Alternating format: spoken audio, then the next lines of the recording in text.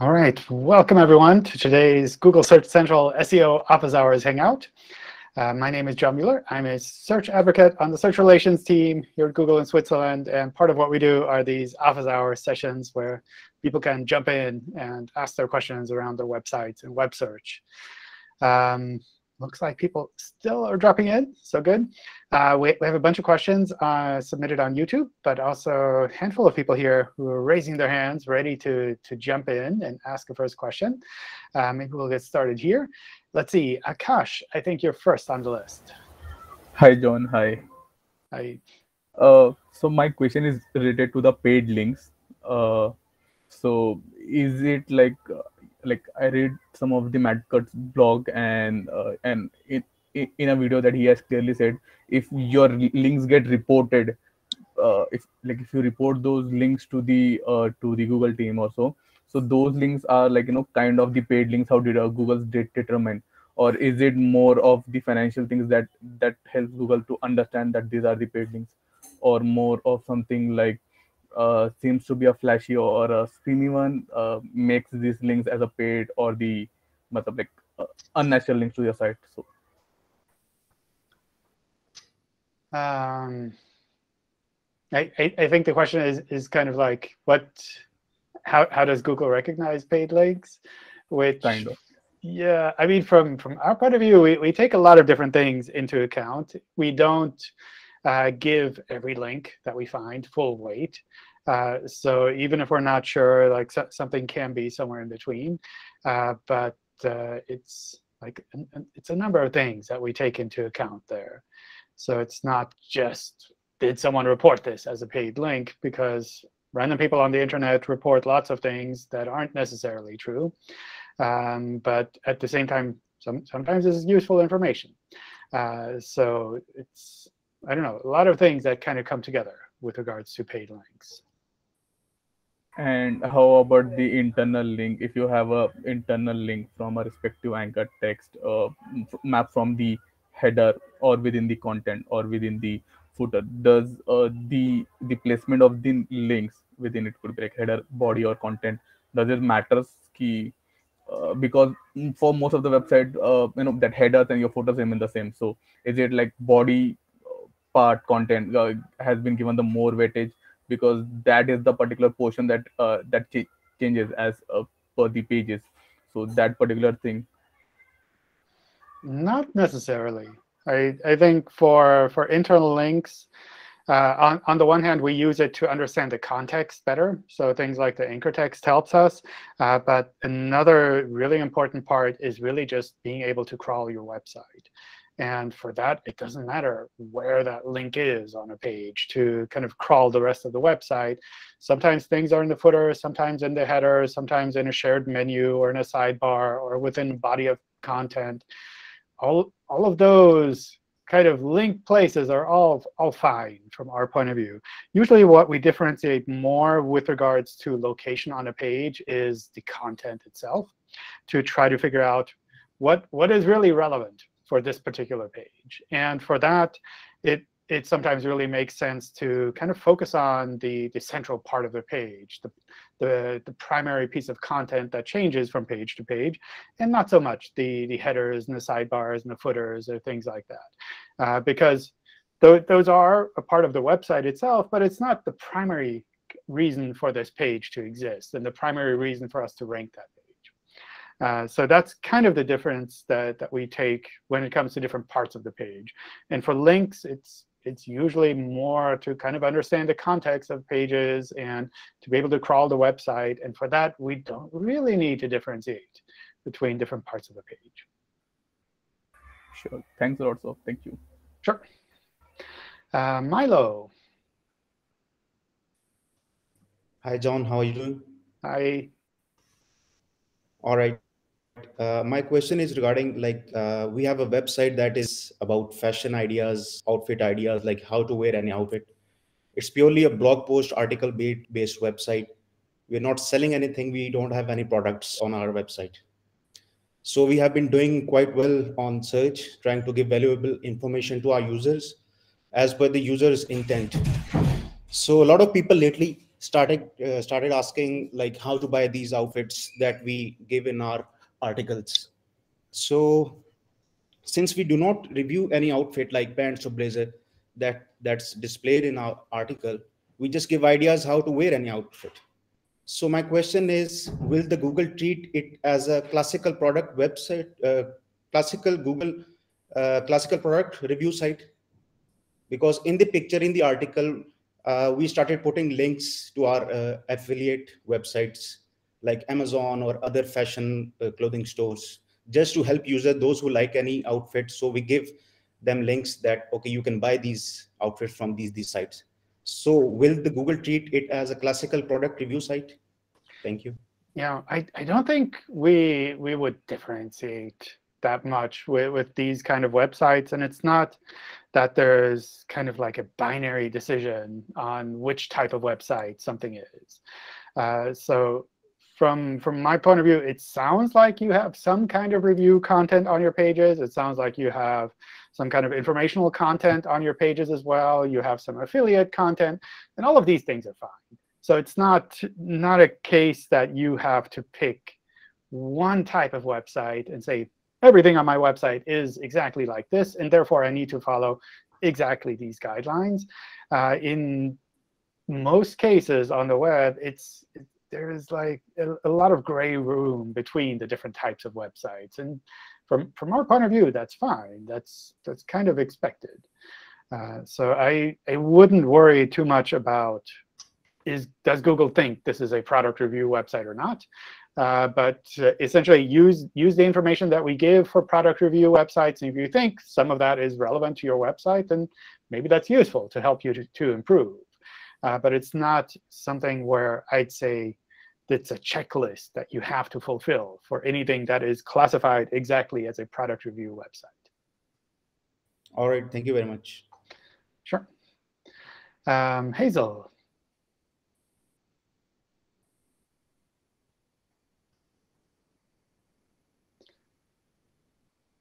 Hazel? Oh, no. OK. Maybe we'll come back to you. Uh, feel free to jump in. Uh, Seth, in the meantime. Hey, John. Hi. So I have a like questions on two different topics, if that's all right. I'll try and make it short. So the first one deals with local directories. And in my opinion, local directories don't really add that much value to people looking for a business. Everybody uses search engines for that. So, and regarding local SEO, a lot like SEOs try to keep the name, address, and phone number consistent across directories, and they use services to automatically do that. So it's really a two-part question. So like, A, does Google really care if you're listed in a local directory and if the information that they have is correct? And then um, if you do go with one of these local companies to automatically manage those local listings, are you just throwing money away? Um, I don't know. It's it's hard to say because I I don't feel comfortable saying like all local directories are bad or all local directories are good because I imagine there there is quite a, a lot of variance between these these kind of sites. Uh, so from that point of view, I, I don't want to like frame it as yes or no kind of thing. Um, the the other part with regards to the exact same name, address, and phone number, um, I I don't know how much of that plays into Google Google My Business. What oh what is Google Business Profiles, the new name, uh, kind of the the local listings and and that part of thing. Uh, one one place where I have seen a little kind of in that direction, which might not be perfectly relevant for, for local businesses, uh, but just generally in us kind of recognizing the, the entity behind a, a website or a business. And uh, for that, it does sometimes help to really make sure that we have consistent information, that we can recognize that this information is correct because we found it in multiple places on the web.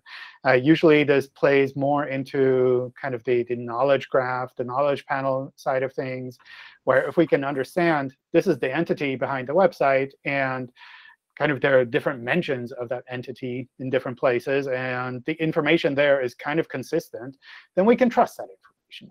Whereas if we find kind of uh, conflicting information across the web, then it's a lot harder for us. And uh, I remember, especially a few years back when we started with the local business structured data on pages, we, we ran into that uh, every now and then where people would have a local profile with opening hours or phone numbers, and then on their website, they marked up something that is conflicting with that. And uh, on, on our side, we kind of have to make a judgment call then. It's like we don't really know what, what is correct. Like on the one hand, in the tool, you said this is your opening hours. On your website, you're saying this. It's like, what, what is actually correct? And in those kind of situations, it's, it's easy for our systems to get confused and use the wrong information.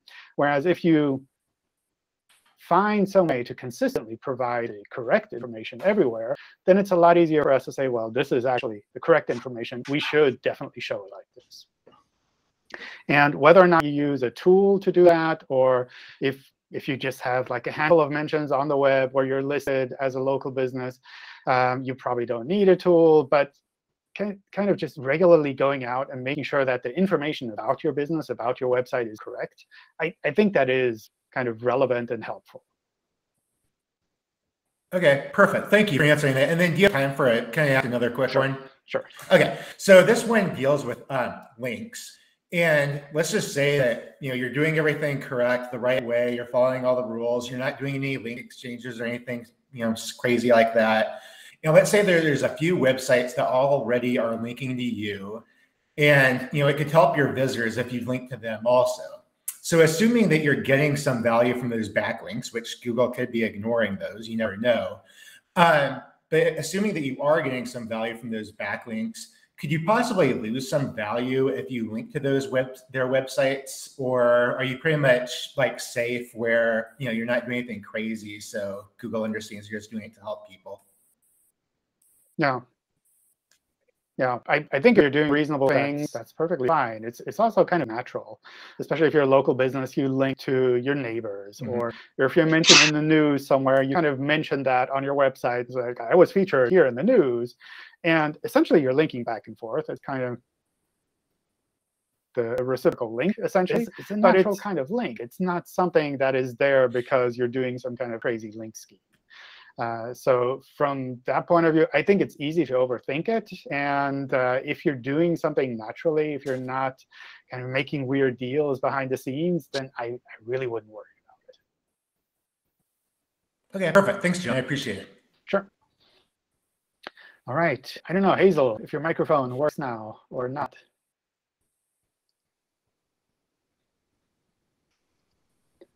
OK, we'll come back to you, I guess. Uh, Michael. Hi. Uh, so um, let me preface this by first saying that I am not starting SEO Cop, a site devoted to you know policing search industry. But that said, um, you know, you see it all day long. There are a lot of fallacies and misconceptions about different practices in SEO, like you know, you need, you need to write 2,000 words to rank, or having a .edu will help you rank, and, and LSI keywords. That was one recently. Uh, quote EAT score, you know, all that kind of stuff. Um, so my question is, and I apologize for putting you on the spot, but uh, you know, there's some things which are kind of inaccurate, some things which are wholly made up and you know, not tied to reality. Um, what, if I could, what things would you, if you could, debunk that you see on an almost daily basis that makes you sort of scratch your head and say, can we put an end to this myth or this inaccuracy? I mean, maybe maybe it's not for today. Maybe it's for uh, you know a thread down the road. But but you know there are things that you see probably every day, and you say to yourself, oh, you know that's not true. Yeah, I I, I don't know. I, I always find this kind of challenging. On the one hand, it's it's possible to put together a, a list of myths and kind of say like this is completely wrong. Uh, but it, at the same time, I also see a lot of people have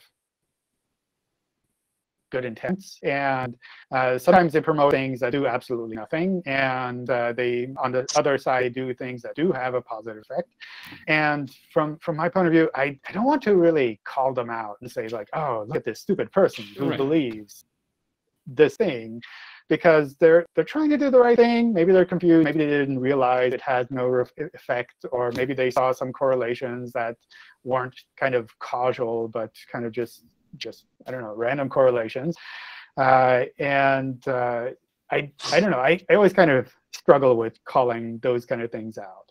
Uh, but maybe we should do more to kind of highlight some of the common myths. I, I think the, the other aspect there is also that some of these myths are kind of technically myths, but they have some rooting in reality as well, where you, you, we might say, I don't know, keyword frequency is not an SEO ranking factor kind of thing. But at the same time, if you don't mention words at all on your page, then it's like, it's not going to do your website much good. So it's like, well, one keyword mention is okay, and 100 is too much. And it's like, is there a number in between that is optimal? No, but you can't like go out and say, well, all keyword mentions are bad. So that's, I, I think, always kind of tricky, but I don't know. I, I think if, if you see things where you run across them, you're like, oh, this makes absolutely no sense. Maybe, maybe just se- send them our way and maybe we can start collecting them and see what we can do in that regard. Uh, sometimes it also just makes sense to kind of focus on the, the positive things instead and to say, kind of like, instead of calling out the bad things, because that kind of almost starts a discussion about the bad things, focus on the, the positive things that you can do. I mean, yeah, I in no way ever want to call someone out. It's just sometimes I feel like if someone believes it, then they're going to start, you know, if you're at sort of a fork in the road, they're going to start just going down the long road like, oh, I need to, I need to write 2000 words. And so I'm going to just fill it with fluff that's not, and then they, and then they come back later and they say, Hey, I wrote this really long story. Uh, why am I not ranking? It's like, well, you could have written it in 300 words if you stuck to the facts or, or whatever it is. You know, that, that that's sort of where my intent is. Not to call anyone out or say you're getting it wrong. It's more of, if anything, uh, to sort of demarcate what our best practices and, you know, this is more myth than it is reality. So you shouldn't go down this road. Now, I, I think also in overall, when, when I look at the, the SEO industry, it feels like a lot of the myths from, from the old days are kind of gone and a lot less popular. And most of the people that are active in SEO, they, they kind of find good information out there and they publish good information. And it seems a lot more focused on, I don't know, actual help rather than kind of these weird myths where it's like, oh, if you do this, like the 2000 word thing that you mentioned, uh, I, I find a lot less of that. So that's also kind of a positive thing. But we'll see. Thank you. Cool. All right, Neil. Hi, John. How are you? Hi. Um, mine's mine's quite a, a, a specific question. We we've got several websites within a group. Um, we've recently published a a regional website that we're coming to a bit of a loss with because the site was originally indexed with Google and held good ranking, um, but over the last couple of months or so, it's dropped and dropped and dropped and dropped and dropped for its main home page to the point where now it's pretty much non-existent within SERPs itself.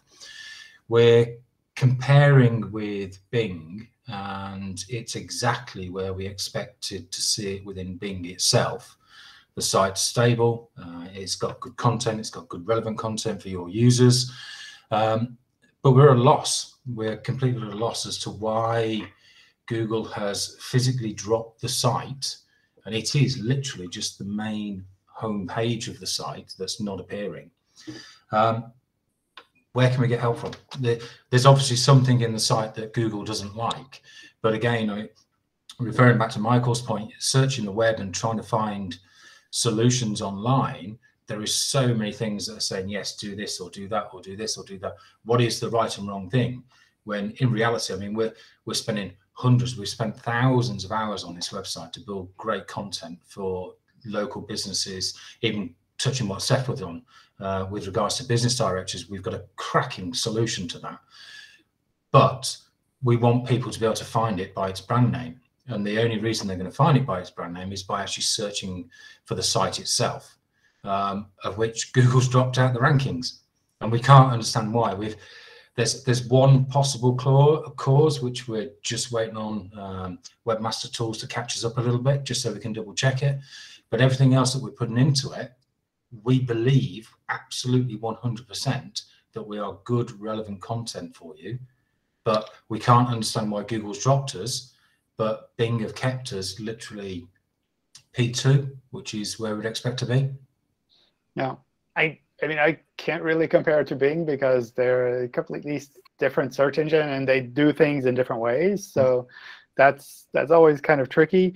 Um, what what I would recommend doing here is starting a thread in the Webmaster Help Forum uh, with with the details. So with with your URL, with the queries that you're looking at, and kind of the changes that you've seen there, uh, so so that folks in the forum can take a look at that, and uh, so that they can escalate it from there if they're saying, well, this looks really weird. Something is is kind of so, so, to interrupt there, will, will, we get a positive response from that though? Because again, I think I've you know, I do go through the forums and I do have a browse through, but again, it, uh, I think it, it, it, refers back to what is a right or what is a wrong answer, because potentially somebody could post something onto it, yeah. but we then spend many many hours adjusting, altering, and it doesn't make a jot of difference.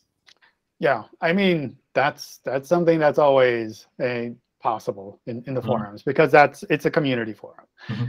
and uh, most of the people who are active there they they've seen lots of things so they they have a lot of insight into the kind of problems that are common on websites mm -hmm. and they can recognize things that are kind of really standing out uh, so i I would definitely not see it as something where any answer that you get in the forum will be 1,000% correct, mm. um, because these are essentially volunteers that are helping out to to kind yeah. of like share share their time and expertise. Uh, but at the same time, they can also escalate things. So if there are issues where it's clear within the forum thread that like something weird is happening here and someone else needs to take a look at that, mm -hmm. they can escalate that to community manager who can then also escalate it to the search team to mm -hmm. kind of have someone take a, a, deeper look into what exactly is happening there. It's almost like we need a we we need a sort of a direct contact so we can just email across and say, look, this is the issue, this is what's happened. Either A, what are we doing wrong? Or B, what are we doing right? Or C, is it something that we've completely and utterly messed up on and missed? And because we're so involved in the project and we're so we live and breathe it that it's just something so stupidly simple that's staring us right in the face that we just can't get then to get the rectification from it. But it's it's sort of heart it's it's heartrending that to see the site just drop and drop and drop and drop and drop and then disappear. Yet other pages within the site are, are ranking where we would expect them to be. Yeah. Um, but without the brand name there, we can't then move on to um, launching the site and going on to Google AdWords and and all the other things which are associated with getting the initial stage set there to be able to, for it to to move forward. Yeah, at the moment we don't have any email support for web search in particular. So yeah, the the forums I I think are kind of the best place to start because it's also something where the, the common issues they they are known and there are things where where folks in the forum have seen lots lots of weird cases and been able to help there. So mm. that's really kind of the the first place to go. Right. Okay. Well, thanks for your help. We'll we'll try the forums. Sure. Um, let's see, Bilal. Hey, John. Hi. So uh, we have a website uh, which had a malware attack back in the uh, December, last December, and we have cleaned it up and uh, we made sure there's no security issue in the Google Search Console. But you know the index pages, you know the unwanted pages which was indexed, the result of malware is still uh, uh, being showing in the search results. And uh, I double checked uh, we have a proper 404 setup, and uh, I was just wondering what else can we do so we can just clean it up from the search results because there's a lot and we can't use actually the temporary removal tool because there are I mean, I mean hundreds and thousands of uh, URLs which were being shown in the search results. So yeah, that was the situation. Okay. So I, I think first of all, I would double check that these pages are actually removed uh, because some some types of website hacks are done in a way that if you check manually, then it looks like the page is removed. But actually, for Google, it's still there. Uh, so I would check with the inspect URL tool some of those pages just to double check. Is it, is it really completely cleaned up? Or is there something left over that is trying to hide? Uh, and uh, I, I think that's kind of the, the basis of everything else. Uh, then for the, the rest, uh, there are two kind of approaches that uh, I I recommend. On the one hand, uh, the I think the best approach is to make sure that the more visible pages are manually removed.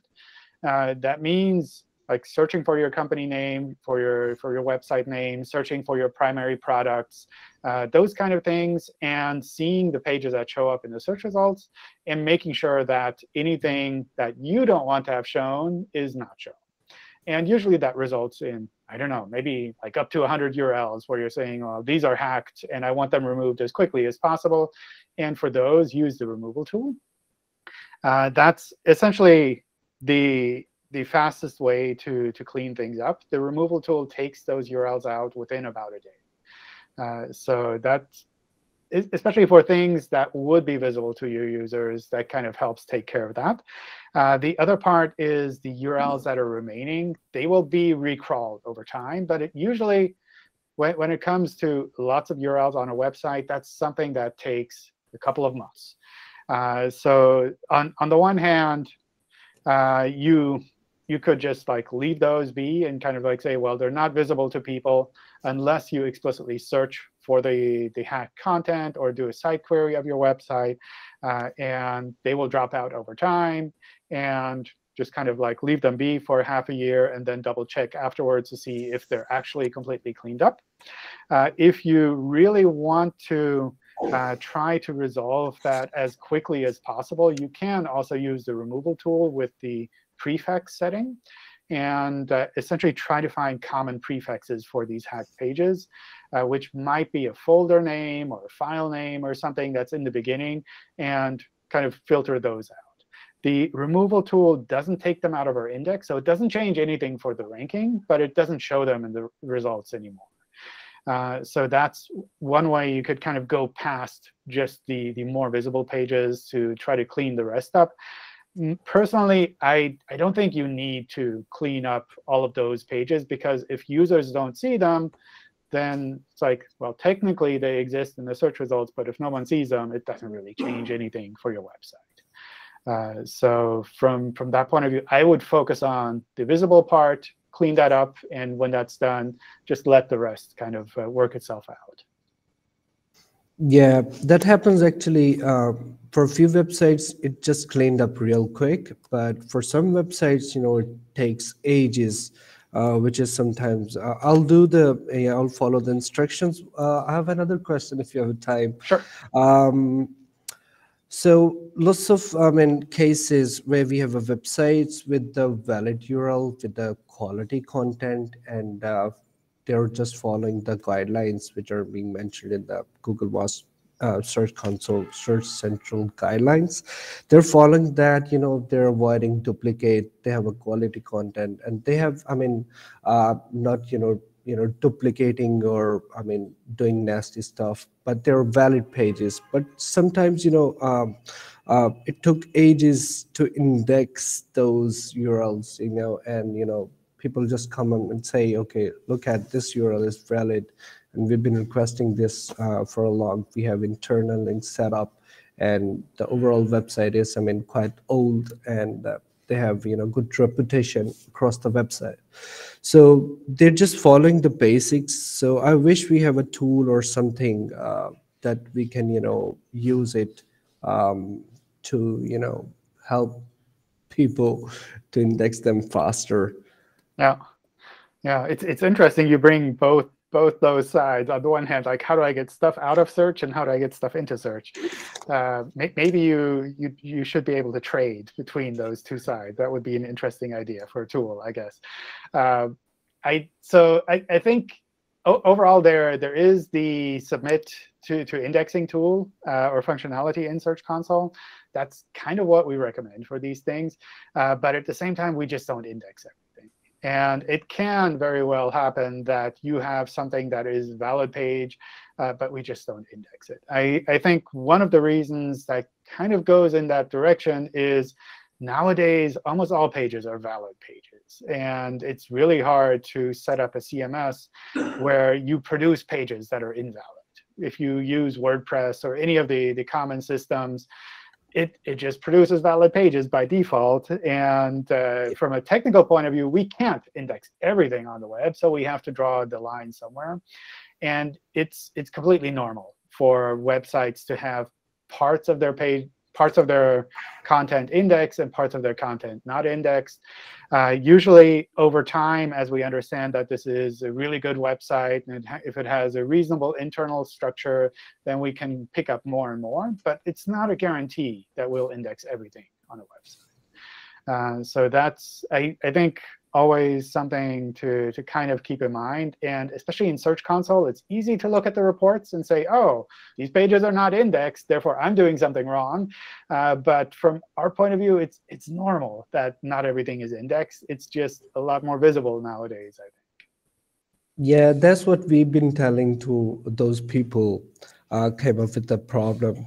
You know, normally if you just talk about WordPress, for example, yeah, they do have a uh, common pages. So you know we we definitely uh, you know respond them okay these pages are identical so the content is indexed already the main content uh, and you know uh, the same thing you were suggesting but you know sometimes we just you know um, uh, it's nail biting you know to see some urls and the site i mean you know they don't want to, they don't trying to trick the google you know that they just have a valid pages.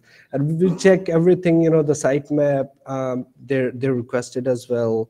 Uh, you know seems like everything then we wish you know uh, there is there should be something uh, which we just press and you know to to help that these people because that is important pages for those uh, websites. Yeah. Yeah. I I, I think it's is tricky because everyone wants like all of their pages indexed. And you Everything just want to click indexed. something to get yeah. it done. Yeah. Yeah. It's it's hard sometimes. Yeah. All right. Yeah. Cool. Th that was my thoughts. Thanks. Okay. Um, we, we still have a bunch of people with their hands raised, but also a lot of things submitted on YouTube. So I'll just run through some of the YouTube questions, and then we'll get back to, to more people with, with their hands raised as well. Um, let's see. Can you give an update or recommendation for emojis used in title and meta description? Are they affecting SEO or not? Uh, we're currently using some in our metadata and headings for blog pages. Uh, so you can definitely use emojis in titles and descriptions on your pages. We don't show all of these in the search results, especially if we think that it kind of disrupts the search results in terms of it looks misleading, perhaps, or, or those kind of things. Uh, but you can definitely keep them there. It's not that they cause any problems. I don't think you would have any significant advantage in putting those there uh, because at, at most, what we try to figure out is what is the equivalent of that emoji and maybe use that word as well, kind of associated with the page. But it's not that you get an advantage for kind of like, oh, you have a colorful title kind of thing. Uh, so from, from that point of view, if you like to have these in your titles and descriptions, go for it. Uh, if you don't want them there, then that's that's fine too. I don't think it kind of hurts or harms SEO or kind of helps SEO in any way. Uh, when comparing data in Search Console interface with the data retrieved from the API, is it the case that the API data should be considered more reliable? Um, and then there's some more specifically around that. Uh, what I, I think overall, just as, as an answer there is the data in the API and the data in the UI is built from the exact same database tables. So it's not that there's any kind of more in-depth or more accurate data in the API than in the UI. Uh, the main difference that you have with the API and the URL is that in the API, you can get more rows of examples than you can when you download things. Uh, so sometimes that is useful, especially if you have more detailed information. Uh, the other thing that is perhaps a little bit confusing with the API and the data in Search Console is that when you're looking at a report in Search Console, you'll see numbers on top that give you like so many impressions or so many clicks overall. And uh, the data that we provide in the API is essentially the individual rows that are kind of visible in, in the table below the overall data in Search Console. And uh, for kind of privacy reasons and various other reasons, we filter out queries that have very few uh, impressions. Uh, so in the UI in Search Console, on top with the number, we'll include kind of the, the aggregate full count, but the rows that are shown there don't include the filtered information. Uh, so what can happen is that if you look at the overall total in Search Console, it'll be a different number than if you take the totals from the API, where you take all of these rows and add them up. Uh, so that's something where it, it's a little bit confusing at first, but essentially it's it's the same data. It's just kind of presented in slightly different way in the API. Uh, we have FAQ schema on quite a few pages that don't show any technical errors in Search Console. Are there non-technical reasons why Google doesn't show our FAQs in the search results below a post? Uh, could it be a trust issue with the content on our site? Uh, so FAQ-rich uh, results are essentially similar to other types of rich results in that uh, we, we have several levels that we take into account before we show them in the search results. On the one hand, they need to be technically correct. It sounds like these are technically correct. Uh, on the other hand, uh, they need to be compliant with our policies. I don't think we have any kind of kind of significant policies around uh, FAQ-rich results other than that the content should be visible on the page. And uh, the, the third issue that sometimes comes into play here is we need to be able to understand that this website is kind of trustworthy in that regard, that we can trust this data to be correct. And uh, that is sometimes something where, kind of from a quality point of view, we're maybe not convinced about a website, and then we wouldn't show uh, but those are kind of the, the three steps that I would look at, kind of like technically correct, is it compliant with our policies? And then if that's all correct, then I would think about like, well, what could I do to significantly improve the quality of my website overall? Um, we would like to expand existing pages with more up-to-date content, uh, for example, on seasonal topics and events. What do we do with such pieces of content when the season or event, like Black Friday, is over? Uh, should we just leave sections on the page permanently or remove them after the event and add them again next year? Um, yeah, I, I think from, from our side, it's totally up to you how you deal with this. Uh, kind of keeping the pages there is fine. Removing them after a while is fine if they're no longer relevant. Essentially, what you would probably see overall is that traffic to these pages will go down uh, when it's not seasonal. And uh, if if people are not looking for Black Friday, then they're not going to find your Black Friday pages. And then it doesn't really matter if you have that page or not, because you're not missing out on any, any impressions there. And uh, if you make this page no index, or if you make it 404 for a while and then bring it back later, uh, that's essentially perfectly fine. The one thing I would watch out for with uh, seasonal pages is that you reuse the same URLs year after year. Uh, so instead of having a page that is called Black Friday 2021 and then Black Friday 2022, just have a page called Black Friday. And uh, that way, if you reuse that page, all of the signals that you have associated with that page over the years will kind of continue to work in your favor uh, rather than you having to build up kind of new signals for every year uh, for a seasonal event like this. So that's kind of the, the main recommendation I have there. Uh, if you delete these pages when you don't need them and just kind of recreate the same URL later, or if you keep those pages live for a longer period of time, I, I think both of those are essentially perfectly fine. and especially about uh, kind of uh, competitive uh, seasonal events like like Black Friday or maybe Christmas or I don't know other holidays. Um, it is something where I tend to see sites create those pages a little bit ahead of time, even if they don't have a lot of content to share there yet, uh, just so that they can start kind of building up some signals for those pages. And that could be with regards to internal links and external links, um, kind of marketing efforts or whatever. Uh, just kind of by having those pages a little bit ahead of time, even if you don't have a lot of content on them, it's a little bit easier to kind of be there when it is suddenly season. Um, let's see. How big is the impact on Google ranking if I have a bad CLS score?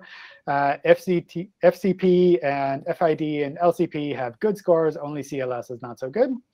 Uh, we, we don't have anything like a fixed number with regards to how strong these scores uh, work for a website.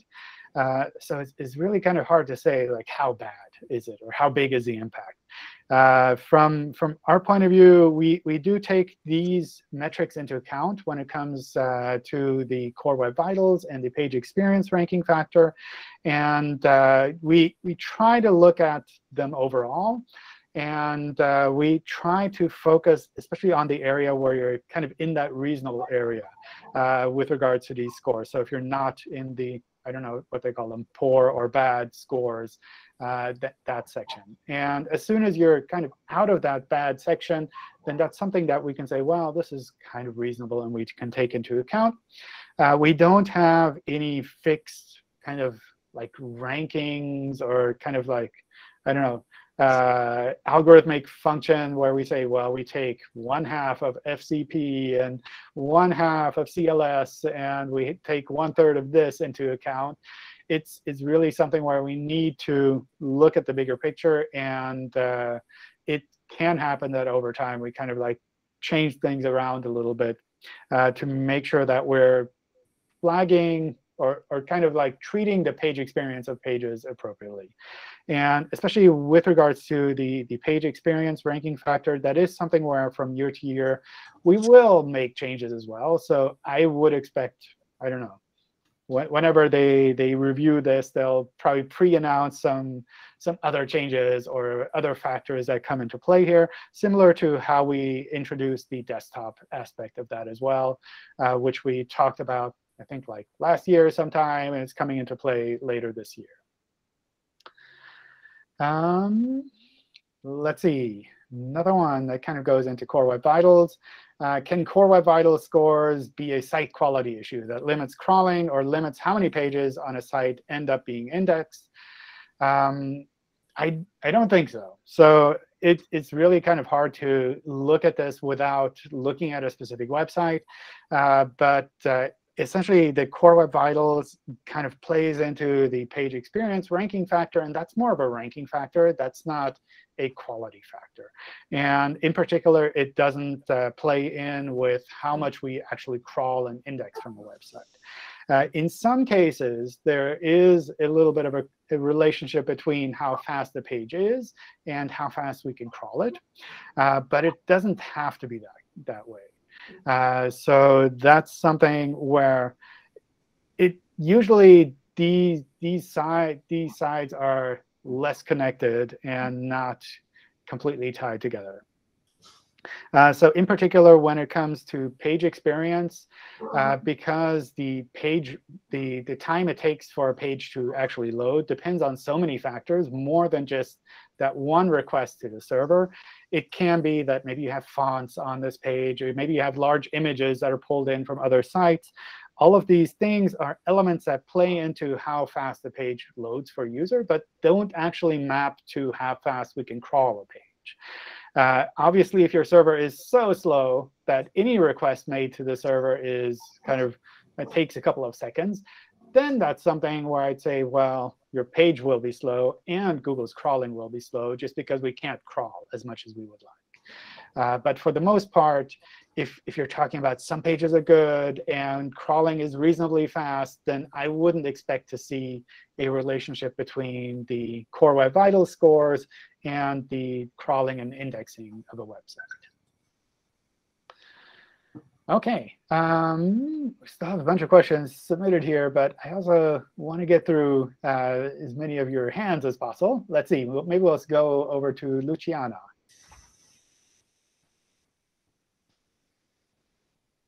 Oh, no, we can't hear you.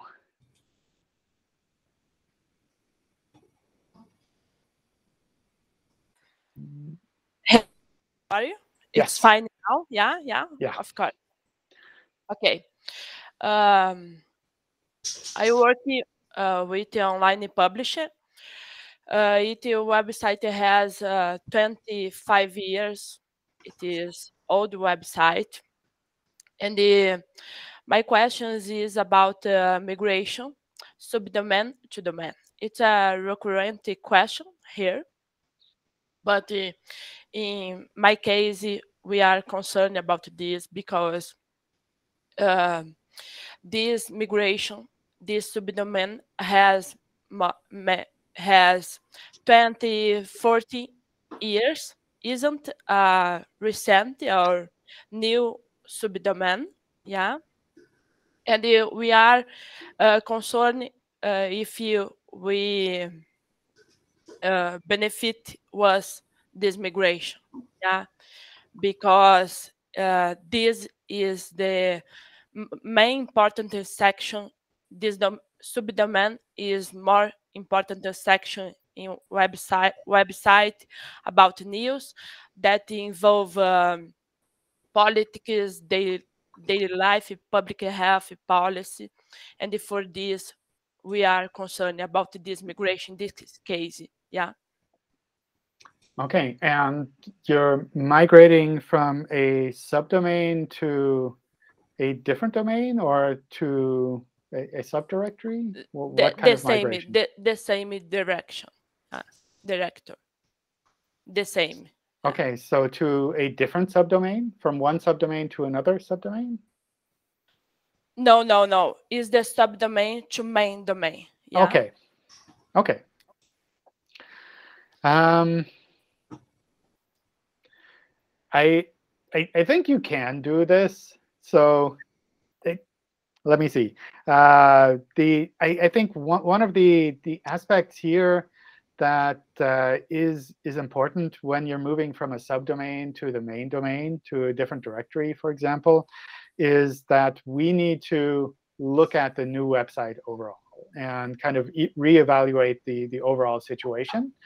And uh, that means that it's hard to know ahead of time what exactly will happen. And it's something where you, you can kind of use your knowledge and your experience to, to figure out a little bit what possibly could happen. Uh, but it's hard to know exactly. Because if you move from one domain to a different domain, then it's easy for our systems to say, take everything here and just copy it over here. Uh, but if you move from a subdomain to a main domain, you're essentially merging different parts of the website. And uh, that kind of final outcome that you have will depend on your final structure. Uh, so Hello. I, whoops. I, I think overall it's something where you can do do these kind of changes, but you kind of have to watch out that you do them in a reasonable way. And what I would recommend doing here is um, making sure that you have a very clear mapping of your Okay. old website to the new one, and then really checking all of those old URLs. You, you can use the, the various tools to test that, but really make sure that everything is moved properly, and then double check by crawling the main domain again separately to make sure that really your new website structure is OK and all of the pages can be found. And uh, for the most part, I assume that that will be fine. And I mean, it's possible to do other mistakes as well, but those are usually the, the more common uh, types of issues. Uh, I, I don't know what I would recommend in terms of like how long this will take or what, what the final effect will be. I suspect maybe you'll see an effect for a couple of weeks until things settle down. Uh, but uh, it should should be possible. If if you're a Google News publisher, then I would also make sure that you contact uh, whoever on the Google News side uh, that is kind of appropriate for you. In, in the Help Center for Google News publishers, there's also a contact form just to let them know that you're moving from this set of URLs to a different set of URLs. Uh, sometimes they need to, to make some changes in, in the publisher center, or I, I don't know all of the details there. Uh, but just kind of to make sure that they're aware of this as well. But otherwise, for search itself, making that move, making sure everything is lined up is essentially what you need to do. Thank you. Cool. Um, let's see, Michael. Hi, John. Thank you for taking the time and sharing your expertise with us. so I've been doing SEO for, I don't know, like 14 years. Testing, um, testing. Oops. Um, so, uh, but my experience has been solely with enterprise level websites, um, big name brands. So a friend of mine started a new school locally, and I have no local experience, but he's wondering why his school is not showing up in Google. So I said, well, you know, it's probably a new website, et cetera. It takes some time to build, you know, backlinks and authority. Um, what would you say uh, is are the signals that Google looks for for like an upstart to come in and start ranking for you know local search? Um, like what things should we pay attention to? Like I haven't done a Google My Business account, but I assume that that's probably step number one. Um, did they shoot their themselves in the foot by not getting a .edu address? Uh, they used .com. I didn't think so. Um, so so is it just they need to build backlinks? Like, what are the things that you guys are looking for? Uh, for? I, I, I think first of all, I I would double check what what the problem is. If they're really not indexed at all, or if it's uh, something where they're indexed but they're just not ranking where they would like to. Rank. Yeah, they're indexed because I did a site colon okay. whatever. Okay. Uh, the the local business entry or what is it google business profiles they they call it now I, I would definitely set that up, especially if it's a local business, a local school, um, because that makes it a lot easier for us to kind of understand the, the address, the location, where it makes sense to show that. Uh, it also gives it the opportunity to show in, in maps and kind of this uh, kind of, I don't know, combined search result thing. Uh, so I would definitely set that up. Uh, the, the other aspect with regards to I, I guess the ranking side of things, that's something that essentially just takes time. And uh, sometimes that's something where you can help out by making sure that you're listed in the appropriate local directories, uh, whatever is relevant for schools. I, I don't know. Um, the other aspect, yeah, I, I think those are those are pretty much the the main things there. And okay. with with regards to the the domain name, the TLD, I I wouldn't worry about that. That's not something where we would say, oh, it says edu, therefore it must rank for all school-related queries. We we essentially just see that as as a different domain, and okay. that's that's fine. Yeah. Great. Well, thank you so much. Cool. All right, uh, Lindsay. Hi, thanks for your time. I think I can be quite quick. I know we're short on time now. Um, I know that Google generally recommends, um, oh, did I lose you? No. Okay, great. Sorry, I just lost my camera here. Um, I know Google generally recommends against geo redirects on websites for a whole bunch of reasons. Um, the fact that Googlebot will be able to properly crawl and index all of the site, for example. So I'm familiar with that with that argument. I'm wondering if the same recommendation um, applies or if the situation is different for news content or news websites. Um, I ask because a number of major news providers, including CNN, BBC, The Guardian, etc., uh, all have had geo redirects in place for quite a few years, and none of them seem to be experiencing negative effects on the ability of their content to be indexed. That definitely applies to, to all kinds of websites. So from, from our point of view, usually the geo redirects are more a matter of um, making it, I don't know, technically hard for us to crawl this content, uh, especially if you're redirecting users from the US to a different version of a website, then we will just follow that redirect because Googlebot usually just crawls from one location. And uh, then it's, it's less a matter of um, I don't know, quality signals or anything like that. It's more that, well, if Google can't see your web pages, then we can't index them. And that's essentially the, the primary reason why we don't recommend doing these things. I don't know if some of these sites are doing something where like some users are being redirected and others are not being redirected. Maybe Googlebot is not being redirected. It's it's possible. Uh, from from our point of view, I I don't think that would do them any favors because it would usually end up in a situation where you have multiple URLs with exactly the same content in the search results, and you're kind of competing with yourself.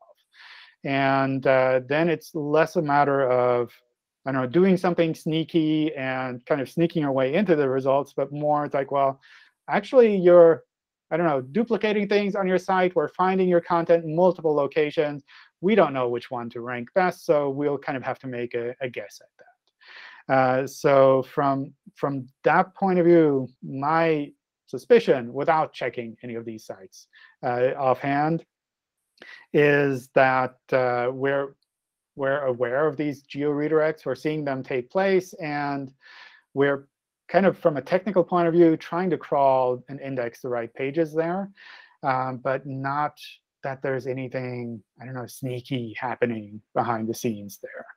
Uh, it's also not the case that we would see this as, as kind of an attempt of cloaking or as something that would be against the webmaster guidelines. It's really just purely from a technical point of view. If you make it hard for us to find and index your content, it's, it's going to be hard for us to do what you want us to do. So that's, that's kind of why, why we have these recommendations. Thank you. Sure. Uh, let's see. I, maybe I'll take one more, and then we can pause the recording. I still have more time afterwards if any of you want to hang around and ask more questions. Uh, let's see. Isabel, you're up next.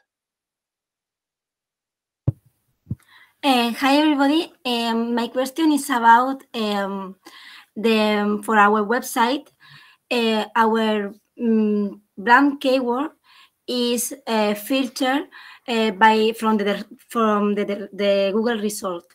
So if we are looking for Power Planet, which is our uh, brand keyword, uh, the result uh, filter uh, our website, um, but just in Spain.